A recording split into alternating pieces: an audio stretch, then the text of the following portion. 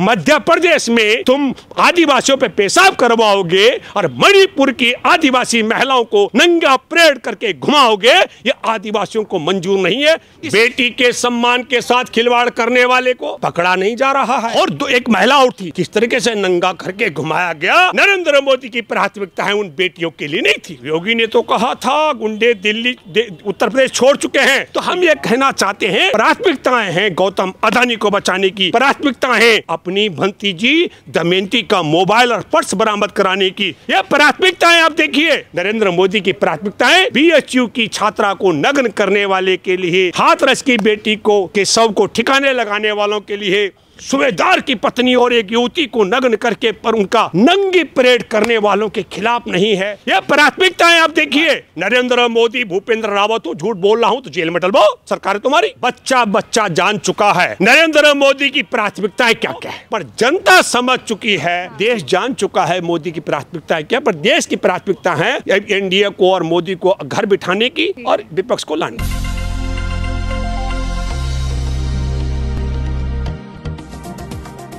नमस्कार मैं नूर झा और आप देख रहे हैं जनत आवाज़। इस वक्त बातचीत करने के लिए हमारे साथ मौजूद है भूपेंद्र रावत जी। जिस तरीके से पाँच राज्यों के चुनाव होने वाले हैं उसी को लेकर हम इनसे बात करेंगे। इंडिया वर्सेस एनडीए चल रहा है तो इनका क्या कहना है? उसी को लेकर हम बात करते हैं। क्या कहेंगे सर? किस विषय में क्या कहेंगे? इंडिया वर्सेस एनडीए चल रहा है। इंडिया वर्सेस इंडिया और एनडीए का हाँ। जो चल रहा है उसमें तो बहुत मैं दावे के साथ कह सकता हूँ चुनाव इंडिया और एनडीए का नहीं चल रहा है। चुनाव इस समय चल रहा है देश में नरेंद्र मोदी और कांग्रेस के बीच में। चुनाव ये है। क्योंकि हर जगह आपने देखा होगा राजस्थान में कोई मुख्यमंत्री का चेहरा नहीं है भाजपा का। मध्य प्रदेश में कोई मुख्यमंत्री का चेहरा नहीं है। छत्तीसगढ़ में कोई मुख्यमंत्री का चेहरा नहीं है। तेलंगाना में कोई मुख्यमंत्री का चेहरा नहीं है। मिजोरम में कोई चुनाव में चेहरा नहीं है। हर जगह नरेंद्र मोदी और कांग्रेस का मुकाबला। जैसे नरेंद्र मोदी और मैं कहूँ कि राजस्थान के मुख्यमंत्री गहलोत के बीच में मुकाबला है। मध्य प्रदेश में अगर मैं कहूँ कि नरेंद्र मोदी पूरा भाजपा सर, सरकार केंद्र की सरकार और कमलनाथ के बीच मुकाबला है। छत्तीसगढ़ का मैं ज़िक्र करूँ तो भूपेश बघेल के साथ में मुकाबला। इसलिए और लेकिन दूसरी रोचक बात जो सवाल है मैं आप सब दर्शकों से कहना चाहता हूँ सवाल दूसरे तरीके से किया। ये जो पूरा आभा मंडल था नरेंद्र मोदी का, इसके तोते उड़ गए। नरेंद्र मोदी के जो आदम कदनी, मैं कहूँगा कि भीम काय, जो बड़े बड़े होल्डिंग लगे हुए थे मध्य प्रदेश से, वो सब उखाड़ कर फेंक दिए गए हैं। नरेंद्र मोदी एक जो डाक टिकट की तरह होता है, इतने बड़े साइज़ में सिमट कर रह गए। क्योंकि नरेंद्र मोदी को समझ आ गया, भाजपा को समझ आ गया कि नरेंद्र मोदी के नाम पर वोट नहीं पड़ रहा है। आप हैरान होंगे जानकर दर्शकों, मध्य प्रदेश की एक सभा में 2000 लोग मुश्किल नरेंद्र मोदी को सुनने के लिए आए हैं। तो ये जो अभी आभा मंडल है, इसका दूसरा देखिए, एक जो भीम काय जो बड़े बड़े होल्डिंग थे नरेंद्र मोदी के, वो सब सिमट गए। क्या कारण है? आरएसएस को नरेंद्र मोदी लग रहा है कि इससे नरेंद्र मोदी को कोई फ़र्क पड़ने वाला है? में। नरेंद्र मोदी को मोटे भाई को इस देश में और दुनिया में अफवाह फैलाने वाले संगी गिरोह को ऐसा लगता होगा कि शायद इनके मन में होगा कि देश के लोग मूर्ख हैं। लेकिन आज के इस सोशल मीडिया के दौर में भले ही तमाम टीवी अखबारों को गोदी मीडिया में तब्दील कर दिया गया हो लेकिन आज की तारीख में लोग बच्चा बच्चा जान चुका है। नरेंद्र मोदी की प्राथमिकताएँ क्या क्या है? नरेंद्र मोदी की प्राथमिकताओं में मैं गिनती कराऊं, एक दमयंती मोदी इनकी भतीजी है। अक्टूबर 2019 का मैं ज़िक्र कर रहा हूँ। दिल्ली में पर्स और मोबाइल चोरी होता है दमयंती का। तो 24 घंटे के अंदर दमयंती का मोबाइल और पर्स बरामद हो जाता है। और उसको झपट्टा मार। वो पुरानी दिल्ली स्टेशन से एक गुजराती भवन है, सिविल लाइन में, वहाँ जा रहे थे परिवार सहित। और वह बरामद हो जाता है, क्योंकि दुनिया के विश्व गुरु के भतीजी का मोबाइल और पर्स चोर पकड़ा जाता है। लेकिन नरेंद्र मोदी के ही लोकसभा क्षेत्र, बनारस का मैं ज़िक्र कर रहा हूँ बीएचयू का। वहाँ एक छात्रा का रात को, और वहाँ पहले मैं बताऊँ तमाम यूनिवर्सिटी में पढ़ने वाले छात्र और छात्राएँ देर रात तक पढ़ाई करते हैं और देर रात तक पढ़ाई करते करते जब उन्हें नींद आने लग जाए या थोड़ा सुस्ताने लग जाए तो उसी विश्वविद्यालय के इर्द गिर्द जो चाय के स्टॉल होते हैं, वहाँ पर चाय पीने जाते हैं। एक छात्रा जो किसान परिवार की, गरीब परिवार की बेटी वहाँ पर बनारस हिंदू विश्वविद्यालय में बीएचयू में, वह अपने मित्र के साथ चाय पीने के लिए गई हुई थी।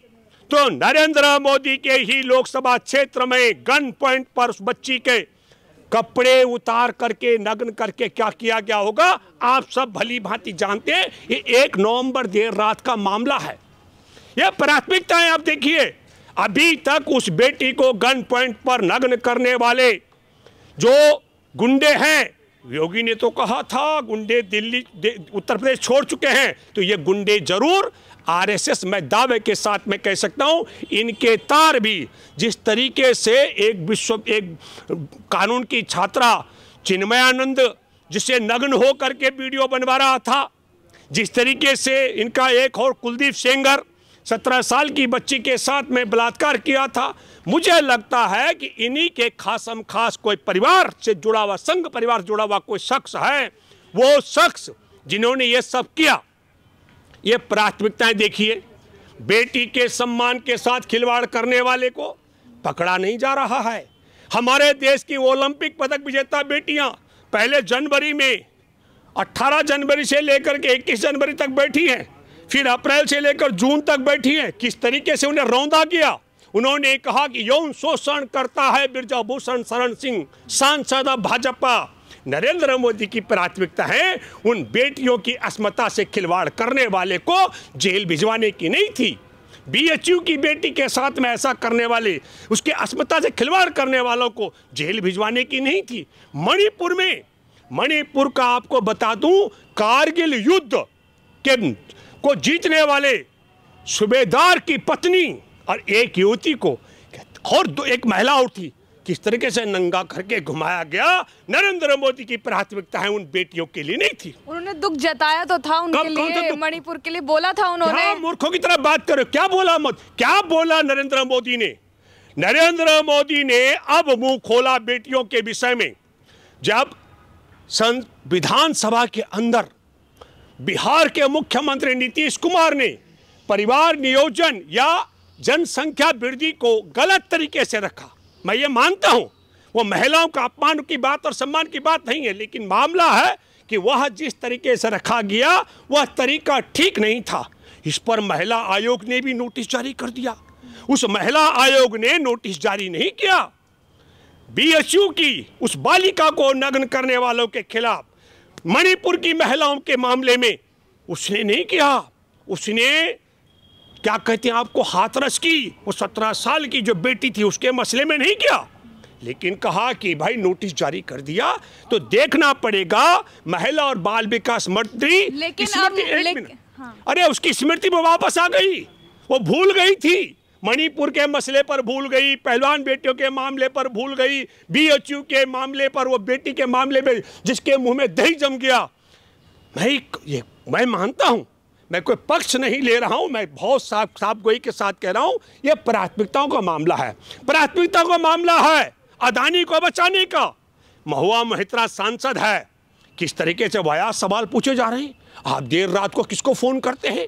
तो एक बात हो, महुआ मोहित्रा ने किस किस को फ़ोन किया? इसके लिए भी एक जाँच कमेटी बने और हमारे देश के अंदर, हमारे देश दुश्मन, देश चीन का तिरसठ अरब अमेरिकी डॉलर चांग चुंग लिंग का लगा हुआ है। नरेंद्र मोदी, भूपेंद्र रावत हूँ झूठ बोल रहा हूँ तो जेल में डलवाओ, सरकार है तुम्हारी।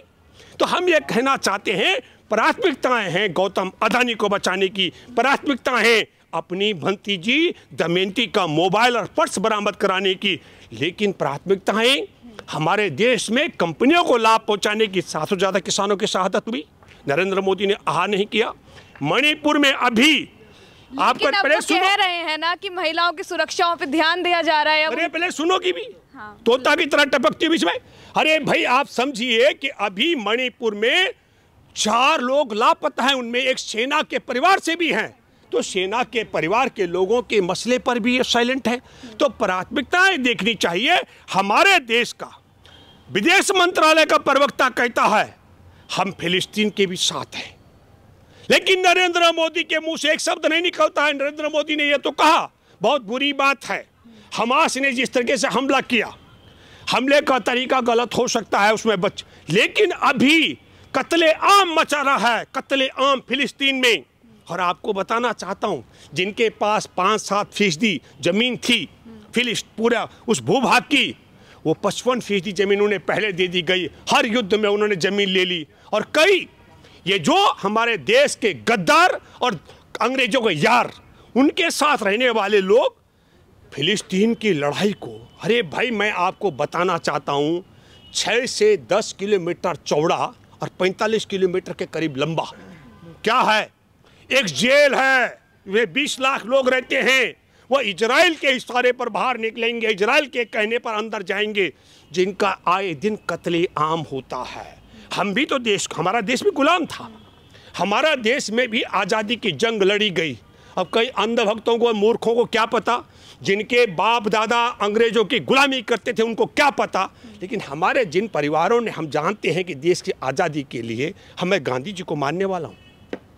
लेकिन इसका यह कतई मतलब नहीं है कि मैं चंद्रशेखर आज़ाद शहीद आज़म, भगत सिंह, अस्फाकुल्ला खां हथियार के बल पर देश की आज़ादी की जंग लड़ने वाले के खिलाफ हूँ।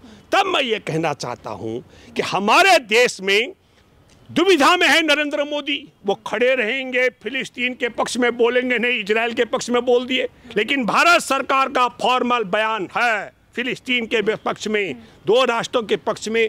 तब हम ये कहना चाहते हैं, विदेश नीति के मामले में कंफ्यूज अदानी को बचाने के लिए, महुआ मोत्रा को फंसाने के मामले में कंफ्यूज अगर देश के लिए खतरा है तो दर्शन नंदानी को ले आओ। हीरा नंदानी के बेटे को देश के लिए अगर खतरा है तो तब हम कहना चाहते हैं कि प्राथमिकता है, जिस प्रकार की हो, पर जनता समझ चुकी है कि नरेंद्र मोदी की प्राथमिकताएँ कंपनियों के लिए है, नरेंद्र मोदी की प्राथमिकताएँ दमयंती मोदी अपनी भतीजी के पर्स और मोबाइल के लिए हैं, लेकिन दमयंत नरेंद्र मोदी की प्राथमिकताएँ बीएचयू की छात्रा को नग्न करने वाले के लिए, हाथरस की बेटी को के सबको ठिकाने लगाने वालों के लिए मणिपुर की सेना के सुबेदार की पत्नी और एक युवती को नग्न करके पर उनका नंगी परेड करने वालों के खिलाफ नहीं है। मणिपुर आज भी जल रहा है। मणिपुर के आज भी वही स्थिति है। तीन मई से लेकर आज तक नरेंद्र मोदी की प्राथमिकताओं को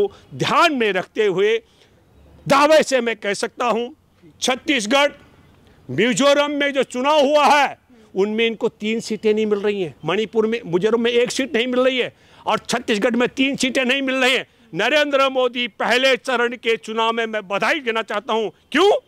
क्योंकि छत्तीसगढ़ के आदिवासियों को समझ आ गया, मध्य प्रदेश में तुम आदिवासियों पे पेशाब करवाओगे और मणिपुर की आदिवासी महिलाओं को नंगा परेड करके घुमाओगे, ये आदिवासियों को मंजूर नहीं है। इसलिए नरेंद्र मोदी का जो बड़े भीम का होल्डिंग थे मध्य प्रदेश में सब उखाड़ के फेंक रहे लोग, और एक स्टिकर के रूप में तब्दील कर दिया गया है। नरेंद्र मोदी मध्य प्रदेश में कमलनाथ से हार रहे हैं। छत्तीसगढ़ में भूपेश बघेल। मैं कहना चाहता हूँ ईडी की भी प्राथमिकता देखो।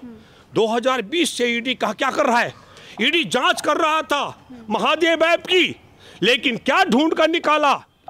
ढूंढ के ये निकाला कि 2 नवंबर को ईडी के दो अधिकारी राजस्थान में एंटी करप्शन ब्यूरो ने जेल गिरफ़्तार किया पंद्रह लाख की रिश्वत को लेकर। डैमेज कंट्रोल करने के लिए एक फर्जी वीडियो बनाया गया। क्या बनाया गया? कि भूपेश बघेल ने 508 करोड़ रुपए लिए। ये ईडी की प्राथमिकता है। मैं एक बात कहना चाहता हूँ, जिस तरीके से राजस्थान में 15 लाख की रिश्वत के साथ दो अधिकारी गिरफ़्तार हुए हमारे देश के सुप्रीम कोर्ट के मुख्य न्यायाधीश को स्वतः संज्ञान लेना चाहिए। और जितने मामले रजिस्टर्ड हैं और उनकी जो जाँच करने वाले हैं, सबको, सबका नार्को टेस्ट होना चाहिए। ये ईडी के अधिकारी कम और ये गुंडे हैं, कलेक्शन एजेंट हैं। नरेंद्र मोदी और अमित शाह के पैसा इकट्ठा कर रहे हैं और फर्जी तरीके से मुकदमे बना रहे हैं। इनकी प्राथमिकता ये होनी चाहिए थी कि ये हमारे देश के लुटेरे महादेव ऐप के अपराधी को गिरफ़्तार करते और ये काम होना चाहिए था और उसके ऐप पर प्रतिबंध लगाते। ये कब लगाया प्रतिबंध? जब इस प्रतिबंध को लगाने की बात किसने की? इसको बात की है भूपेश बघेल ने उसके बाद प्रतिबंध लगाया गया। हाँ। देश जान चुका है मोदी की प्राथमिकता है क्या पर देश की प्राथमिकता है एनडीए को और मोदी को घर बिठाने की और विपक्ष को लाने की। बहुत बहुत शुक्रिया। तो ये थे हमारे साथ रावत जी। इन्होंने बताया कि मोदी जी की प्राथमिकताएँ क्या हैं। तो उसको लेके इन्होंने काफ़ी बहुत कुछ बताया है। तो आप इसमें क्या कहेंगे? आप इससे कितना सहमत हो हमें ज़रूर बताएगा और देखते रहे जनता आवाज़।